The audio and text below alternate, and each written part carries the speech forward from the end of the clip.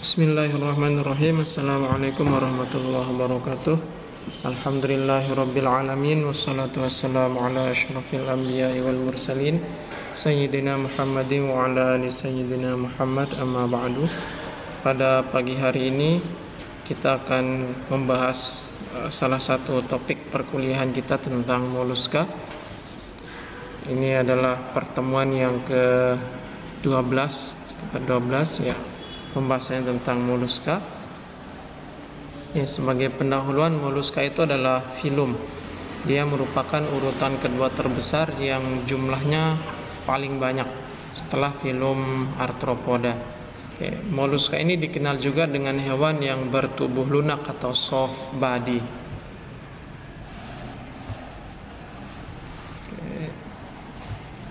Ya ini contohnya sangat banyak bisa dijumpai di pinggir-pinggir pantai. Mulai dari yang paling umum itu ya kerang terus kemudian ada cumi-cumi biasa di pasar juga ada octopus kemudian ada oyster ini yang penghasil tiram mutiara. Ada snail ya ini keong sawah ya bisa bekicot itu termasuk dalam kelompok atau film moluska ukurannya juga sangat bervariasi mulai dari yang paling kecil sampai yang paling besar yang paling besar itu dia sampai beratnya 250 kg ya seperempat kuintal nah, habitatnya sangat luas dia bisa dijumpai di daerah tropik sampai dengan daerah kutub oke. Dari um, laut sampai ke pegunungan dia masih bisa dijumpai moluska oke Moluska awalnya berasal dari laut, hanya bivalvia dan gastropoda yang bermigrasi ke perairan payau dan tawar. Ya, fungsinya juga sangat umum, bisa untuk makanan, terus untuk mutiara, untuk kebutuhan industri lainnya. Oke. E, dampak negatifnya ya beberapa spesies ini memberikan dampak negatif. E, contohnya snails ya keong sawah biasanya sebagai inang perantara beberapa parasit dan merusak kebun serta vegetasi. Nah, beberapa spesies bivalvia dapat merusak kapal kayu dan dermaga ya. Uh, khususnya kepada snail atau uh, keong sawah dia merupakan uh, atau pembawa parasit. Uh, beberapa jenis parasit menempel di tubuhnya. Jadi kalau dia dimakan oleh manusia maka parasit bisa berpindah dari keong sawah ke manusia. Oleh karena itu butuh kehati-hatian dan kewaspadaan jika ingin mengkonsumsi uh, keong. Nah, ini beberapa contoh uh, bentuk morfologi tubuhnya. Ini yang kiton, kemudian ini gastropoda, uh, ini yang uh, gurita, Oke, ini yang Ludi Branch ya. Ludi Branch ini juga bisa ditemukan di pantai Batu Layar. Yang ini. Struktur tubuhnya secara umum the mollusk body plan may be said to consist of a head foot portion and a visceral mass portion. Jadi tubuhnya itu secara umum dibagi menjadi dua yaitu bagian kepala dan kaki dan bagian organ-organ um, dalam ya di gambar ini ini adalah bagian kepalanya yang bagian kaki yang foot yang ini sini oke jadi dia bergerak dengan menggunakan otot-otot di abdomennya oke. di beberapa video di channelnya Prodi juga saya menampilkan bagaimana pergerakan dari gastropoda ya. Area kepala sampai kaki merupakan area yang lebih aktif, terdiri atas organ sensorik. Ya, organ sensorik ini organ untuk uh, mendeteksi mendeteksi rangsangan terus organ lokomotor organ untuk pergerakan dan organ untuk mengambil makanan sedangkan visceral mass atau organ-organ tubuh bagian dalam terdiri atas organ pencernaan, sirkulasi, respirasi dan reproduksi. Oke, ini area kepala dan kaki penjelasan lebih lanjutnya. Nah, yang unik di sini adalah adanya radula seperti organ lidah dia memiliki gigi dan disokong oleh otot kartilago atau namanya odontopor. Nah, fungsi radula ini untuk membantu memasukkan makanan dan menghaluskan partikel-partikel makanan. Ya. Ke arah posterior, ke arah uh, belakang atau ekor, ke arah kaudal. dari mulut terdapat organ lokomotor atau kaki. Oke. Kaki moluska digunakan untuk lokomosi, pergerakan, atau untuk menempel di substrat atau kombinasi keduanya. Ini e, gambar dari radula dan ini adalah otot tempat melekatnya e, radula yang namanya odontopor. Oke. Dan mulutnya yang ini. Oke, radula ini seperti gigi-gigi tajam yang fungsinya tadi untuk menghaluskan makanan. Nah, ini struktur mikrostruktur dari uh, radula. Nah, yang organ visceral atau organ dalam yang pertama adalah mantel dan ruang mantel. Mantel ini dia adalah lapisan, lapisan yang menyelubungi kulit dan melindungi bagian dalam yang lain. Mantel yang ini, oke. Tepat di bawahnya cangkang itulah mantel. Ya, yang ini lapisan e, terbawah dari cangkang. Kemudian rongga mantel yang ini. Oke. Definisi dari rongga mantel di ruang mantel atau uh, rongga mantel dibentuk oleh mantel yang berada di antara organ visceral dan mantelnya. Ini um, ruang mantelnya. Pada ruang mantel terdapat organ respirasi. Ini ada tulisannya gil. Uh, bisa berupa insang atau paru-paru. Uh, Bagian luar mantel membentuk cangkang. Oke. Kita lihat cangkangnya. Cangkang pada moluska terdiri atas tiga lapisan. Yang pertama lapisan periostrakum yang A ini, lapisan periostrakum, lapisan terluar. Yang kedua adalah lapisan prismatik, lapisan prismatik, lapisan tengah, dan ketiga adalah lapisan terdalam ini lapisan nakre. Nah, lapisan nakre inilah yang berperan untuk membentuk mutiara pada uh, moluska kelas bivalvia. Yang gambar B ini adalah bagaimana proses pembentukan dari mutiara dengan uh, memanfaatkan ini uh, lapisan nacre, okay, lapisan. Okay. Kemudian organ dalam yang ketiga ini sistem sirkulasi dia terdiri atas jantung dan pembuluh darahnya sudah lengkap.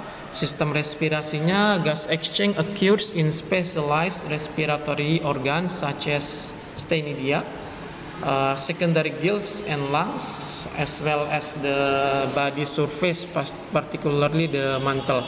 Jadi dia respirasinya bisa menggunakan stenidia, kemudian insang sekunder, kemudian ada paru-paru juga, dan uh, permukaan tubuh juga bisa digunakan untuk pertukaran gas pernafasan. Ya. Uh, sistem pencernaannya sudah lengkap mulai dari mulut kalau di gambar ini dari mouth terus uh, lambung stomach kemudian ada intestine usus kemudian sampai dia ke anus. Ya. dan ada kelenjar-kelenjar pencernaan.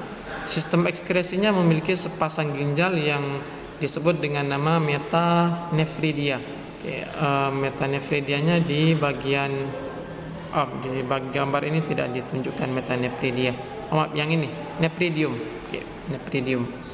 Sistem sarafnya beberapa pasang ganglia ini kumpulan serabut saraf terus memiliki organ sensori organ sensori dan neurosekretori nah kalau diperhatikan biasanya di bekicot ada uh, sungutnya yang ke atas itu merupakan organ sensori untuk yang jenisnya kemoreseptor mendeteksi rangsangan berupa kimia Sistem reproduksinya sebagian besar dia dioecious dan beberapa dia hermafrodit. Nah, larvanya disebut dengan nama larva Trocopora, kayak mirip larva cacing. Kemudian dia bermetamorfosis menjadi juvenil atau anakan yang masih eh, anak-anak. Uh, nah, mantelnya seperti ini, oke. Ini uh, Veliger of snail larva dari uh, keong yang namanya veliger. Oke, bentuknya seperti ini seperti segitiga. Begitu pula dengan larva-larva uh, bivalvia penghasil tiram mutiara bentuknya seperti ini. Oke, jadi kalau orang memelihara mutiara tentu dimulai dari proses pembenihannya ya. Proses pembenihannya adalah menghasilkan larva yang bentuknya seperti ini. Oke. Klasifikasi dari moluska dia dibagi menjadi um, 8 kelas. Yang pertama dari kelas Caudofoveata, Solenogastres, Polyplacopora, ini kiton masuk di sini. Monoplacopora, Gastropoda, Cephalopoda, Bivalvia dan Scapopoda. Nah, biasanya yang paling umum yang sering dibahas di beberapa buku itu Gastropoda, Cephalopoda dan Bivalvia. Sedangkan dari kelas-kelas yang lain ini jarang. Ya, saya akan sampaikan sepintas saja masing-masing kelas ini dari kelas Caudofoveata ya bentuknya mirip seperti ini ya seperti um, cacing kayak posisi tubuhnya dia vertikal Oke, makanannya berupa mikroorganisme dan detritus ya, panjangnya hanya ukuran milimeter 2 sampai 140 mm dia hidupnya di laut Oke. kelas Solenogastres dia merup, juga merupakan hewan laut um, dia bersifat hermaprodit dan um, mikrohabitatnya dia di dasar laut. Kadang hidup dan makan pada uh, terumbu karang. Ya, ini jarang-jarang terlihat. Monoplacopora ini kelas yang hampir punah yang sudah masuk ke dalam hewan yang dilindungi. Um, tubuhnya kecil memiliki cangkang melingkar dan kaki yang melata. Yeah. Ini juga jarang-jarang dijumpai di perairan kita Monoplacopora. Hiton ya e, jumlah moluska yang sangat banyak ada 1000 spesies. Ya, ciri khasnya tubuh agak datar secara dorso-ventral, permukaan dorsalnya cembung, terdapat 7 sampai 8 plat atau piringan katup. Ya ukurannya 2 sampai 5 cm. Ya gambarnya yang ini ya. Ini yang permukaan dorsalnya yang cembung dan ada plat-platnya plat-platnya di bagian dorsal. Uh, mosi kita nama spesiesnya Mopalia muscosa. Kelas selanjutnya adalah Scapopoda ini disebut dengan cangkang taring atau cangkang gigi. Kenapa? Karena dia uh, bentuk cangkangnya seperti gigi taring ya, seperti ini bentuknya. Uh, habitatnya di laut ditemukan pada zona subtidal sampai kedalaman 6000 meter ya, sangat dalam. Uh, harus sampai 6000 meter kelas gastropoda ya ini kelas yang sering kita jumpai baik di darat maupun di laut dibagi menjadi tiga subkelas yang pertama prosobranchia yang kedua opiostobranchia dan pulmonatana. Yang prosobranchia terdiri atas sebagian besar siput laut dan beberapa siput air tawar serta gastropoda darat. Contohnya abalon. Nah ini abalon uh, merupakan komoditas uh, gastropoda termahal yang dimiliki yang ada di di daerah Lombok ini khususnya di bagian Sekotong. Ini ada budidaya abalonnya nilai ekonomis dan bernilai ekspor terus ada busikon, periwinkles terus ada moon snails, oyster. Ya ini yang penghasil uh, oyster terus ada rock shells, freshwater frog yang kelas kedua ada Opistobranchia terdiri atas Sislax, kemudian ada Sihares, Sea Butterflies dan Bubble Shell. Ini juga uh, jarang saya jumpai. Yang kelas ketiga ada Pulmonata meliputi sebagian besar siput air tawar.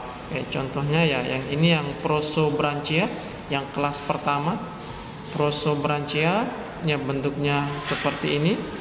Prosobranchia yang A ini namanya Diodora aspera. Kemudian yang B Flamingo tangs. Ini yang e, bentuknya seperti lidah. Ini seperti lidah. Ini Opistobranchia subkelas yang kedua dari Gastropoda. Oke. Ini juga Opistobranchia kelas kedua subkelas kedua dari um, Gastropoda. Nah, yang opistobranchia hewan yang mirip seperti ini juga bisa ditemukan di pantai Batu Layar yang warnanya hitam sama kuning. Nah, ini yang pulmonata uh, siput darat yang sebagian besar sering kita lihat. Nah, kelas yang selanjutnya dari moluska adalah kelas bivalvia. Dia meliputi mussels, clams, scallops, oyster dan shipworm.